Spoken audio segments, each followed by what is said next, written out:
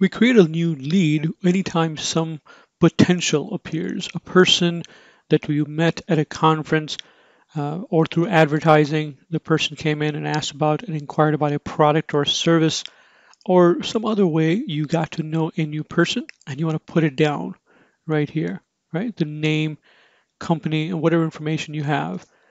And once you have that information, then you can always convert that person, the lead, into a contact and associate that to an actual opportunity if there's an opportunity. But leads, you can make as many as you want. So let's go ahead and make a new one right here. So I went ahead and made a new one and some interest in our product is the topic. The type is item based. It could be consulting, so it could be work based, but this is an actual product that we're trying to or we're going to try to sell to this person. First name, last name. Now you're looking at these things over here. You got a red asterisk, which means these are required things you have to put in. Then you have these blue uh, plus you know icons over here. Those means they're recommended, but you don't have to put them in in order to save the lead. Yeah.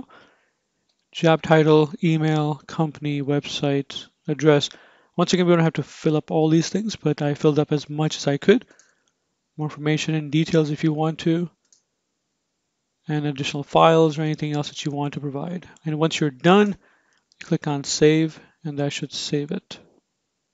Now the other way to make a lead, I could have done that from any screen actually, is click on this plus sign on top right, go to lead,